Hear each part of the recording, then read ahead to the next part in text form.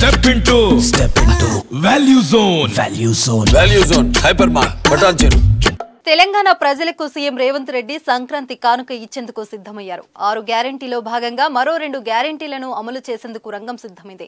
ఇప్పటికే మహిళలకు ఉచిత బస్సు ప్రయాణం రాజు ఆరోగ్యశ్రీ హామీలను ఇప్పటికే అమలు చేస్తుండగా రైతు భరోసా బదులుగా పాత రైతు బంధు పథకం కింద కొంతమంది రైతుల అకౌంట్లలో డబ్బులు వేసింది. అయితే వంద రోజుల్లో ఆరు గ్యారంటీలు అమలు చేస్తున్నామన్న రేవంత్ సర్కార్ త్వరలోనే మరికొన్ని హామీలు అమలు చేసేందుకు రంగం సిద్ధం చేసినట్లు తెలుస్తుంది.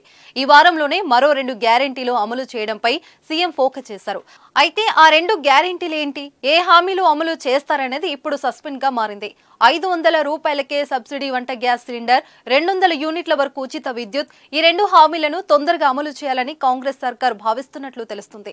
తెల్ల రేషన్ కార్డు ఉన్నవారికి ఈ రెండు పథకాలు వర్తించేలా చేయనున్నట్లు తెలిసిందే అర్హులైన మహిళలకు నెలకు రెండు వేల ఐదు వందల రూపాయలు పథకం అమలు కూడా కసరత్తు జరుగుతున్నట్లు సమాచారం. అదే విధంగా వచ్చే నెల అనగా ఫిబ్రవరి చివరి నాటి నాటికి మరికొన్ని హామీలను అమలు చేసేందుకు రేవంత్ ప్రభుత్వం చర్యలు ప్రారంభించింది.